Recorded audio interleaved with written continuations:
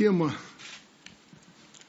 борьбы с вирусами, в том числе коронавирусной инфекции, остается в числе приоритетных не только в нашей стране, но и во всем мире. В Беларуси на сегодняшний день, я полагаю, нет глобальных поводов для беспокойства. В очередной раз хочу заверить всех, мы с этой бедой коронавирусной на сегодняшний день справляемся. Думаю, на достойном уровне. Но пока забегать вперед не будем. Без лишнего информационного шума, без политических дрязг, демонстраций, комендантских часов, как в отдельных государствах, особенно в государствах с так называемой развитой демократией. Переломить экономику, ее законы не получилось ни у кого. Никогда вообще природные, экономические законы человечеству переломить не удавалось. Локдауны, падение валового внутреннего продукта, безработица – безумные эмиссионные деньги, которые сегодня вброшены в экономику планеты, взлет в связи с этим мировых цен, другие последствия отрезвили абсолютно всех. Беларусь уже потратила на борьбу с ковид только бюджетных денег 750-800 миллионов долларов. Плюс почти столько же сами организации всех форм собственности. Наша небогатая страна вложила ресурсы по всем направлениям. Надбавки врачам, закупка лекарств и вакцин, организация производства масок, дезинфицирующих средств. Мы бесплатно прививаем свое население и за небольшие деньги принимаем на прививку всех желающих иностранцев. По сути, у нас осталась одна нерешенная задача – получение собственной вакцины. Все, что вы просили, нормативно-правовая база создана, я подписал ряд документов для решения этой проблемы. В это непростое время за счет других направлений мы нашли 10 миллионов, это только на первый этап, инновационных денег и бюджетных средств в пользу Минздрава и Академии наук. Осталось главное – результат и в заявленные сроки. Мне хотелось бы услышать конкретные меры и шаги, которые приведут к желаемой цели и дадут эффект. Мое посещение Бел вид унифарма планировалось давно. Это одна из потенциальных площадок для производства вакцины. Сегодня вроде бы все готово для того, чтобы разворачивать работу. Так ли это? Послушаем для витебчан выбор вот этого предприятия для производства белорусской вакцины не только колоссальная ответственность, это огромный импульс для развития всего нашего северного региона. Вирус, к сожалению, никуда не уйдет в ближайшие годы. По-моему, это уже тезис неоспорим. Оспаривают, поможет ли коллективный иммунитет на планете уже более 7 миллиардов человек. 7 миллиардов человек, больше.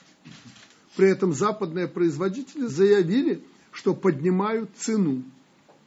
Отсюда вывод, спрос на этот товар будет и очень значительный. Не проспим, развернемся, значит быстро получим производство с экспортным потенциалом на сотни миллионов долларов. Поэтому я специально попросил расширить круг участников сегодняшнего совещания, и мы должны комплексно обсудить три блока вопросов. Первый. Каковы текущие темпы заболеваемости? То есть, как обстоят дела с ковидом в стране? Как лечим? Какой результат? Сразу хочу предупредить, никакой самоуспокоенности быть не должно. От министра здравоохранения я жду принципиальной оценки действий руководителей регионов и столицы в этом плане. Об обеспеченности лекарствами, медицинским персоналом, больничными койками, кислородом, реабилитация, восстановление тяжелых пациентов, соблюдение выработанных мероприятий. можем ли мы сейчас оценить уровень ожидаемой осени заболеваемости COVID-19 в Беларуси, готовы мы к возможному новому витку пандемии, если она будет. Вторая тема – вакцинация населения. У нас, как во всем мире, уже зафиксирован индийский штамм. Но мы с министром обсуждали этот вопрос, когда о нем только заговорили. Мы выработали определенные меры, мы ждали и были к этому готовы. Но пока те прогнозы, которые мы обсуждали, они оправдываются. Но сколько будет этих штаммов еще, и не только индийских, никто не знает. Поэтому много раз говорил и повторяю, наша главная задача, в том числе и вакцинация. В том числе.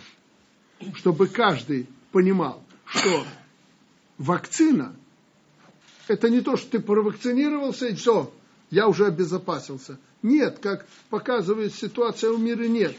Но то, что вакцина ослабит болезнь, если вдруг заразишься, это факт. Практически неоспоримый. Каждый человек хозяин своего здоровья. Второе здесь, каждый человек должен понимать, что это не только его здоровье. Если он заразился, то он может заразу подкинуть другому. В этом его как раз коллективная общественная ответственность. Но поскольку мы многого не знаем, я бы не хотел, чтобы мы сходили с ума, как это было во всем мире на первом этапе болезни. В связи с этим никакой насильственной вакцинации. Категорически предупреждаю. Не дай Бог до меня дойдет информация, что кто-то кого-то принуждает, наклоняет и так далее. Знаете, что реакция с моей стороны будет немедленной и категоричной добровольная вакцинация. Хочет человек вакцинироваться, пусть вакцинируется. Не хочет, не надо. Но есть небольшая группа людей, где людей не заставлять надо, а попросить. Я думаю, врачей не надо убеждать в том, что надо вакцинироваться, что вы там работаете с населением и так далее. Это просвещенные люди. И у нас среди врачей больше всего вакцинированных, больше 70%. Есть еще некоторые категории людей, которые не только за себя отвечают за свое здоровье, но и за окружающих. Продавцы, работники аптек, социальные некоторые службы. Но еще раз, третий раз заявляю, никто не имеет права никого принуждать. Попросите, убедите. У нас люди толковые.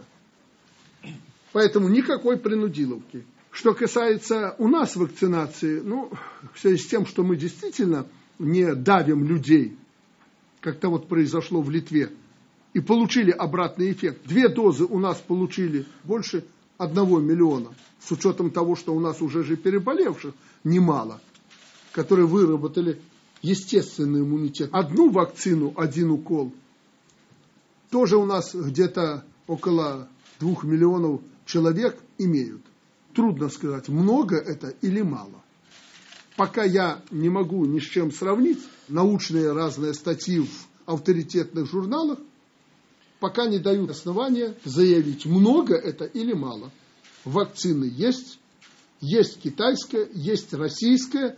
Запад предложил нам через Республику Польша э, западную вакцину.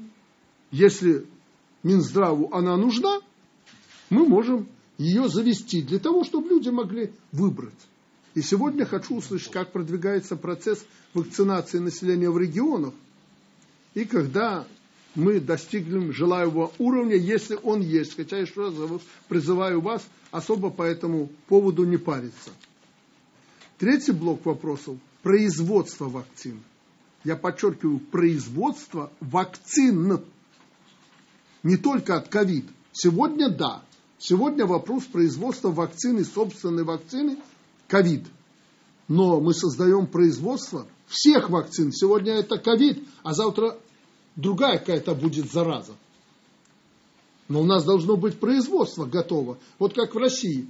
По нашей вакцине я сказал, но меня интересует, на какой стадии организация производства «Спутник Ви» по полному циклу на площадях Белмедпрепаратов, как мы и договаривались.